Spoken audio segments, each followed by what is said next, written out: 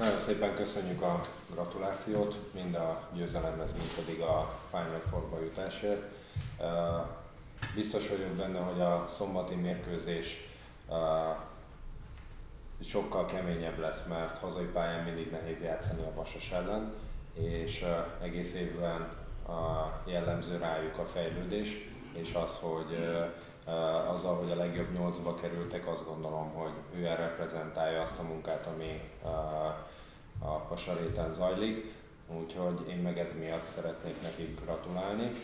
E, igazából a másik pedig a csapat végig komolyan vette a mérkőzést, az első percről az utolsóig. Azt gondolom, hogy mindenki, aki pályára lépett, a szívét, lelkét kitette, és keményen játszott. Csúsztak hibák a, a támadó játékunkba. Én azt gondolom, hogy nagyon sokszor alsó poszt helyzeteket nem jó szögből és nem jó módon passzoltunk meg. Ez most csak egy apró részlet, de a lényeg a lényeg, hogy minden mérkőzésből lehet tanulni, ebből is fogunk, és ugyanilyen lendületes játékot várok szombaton is.